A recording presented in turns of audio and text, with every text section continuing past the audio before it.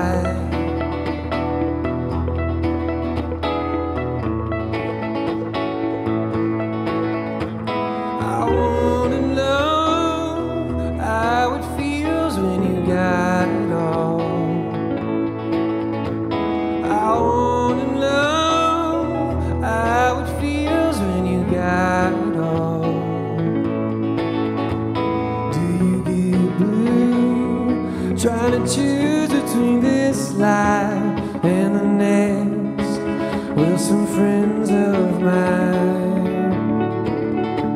help me get by?